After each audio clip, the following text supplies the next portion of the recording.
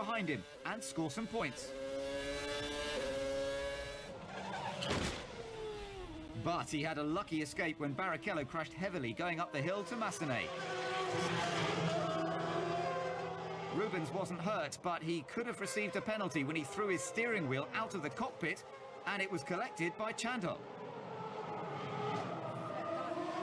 Another Williams was not going to make it back to the pits and the safety car came out again.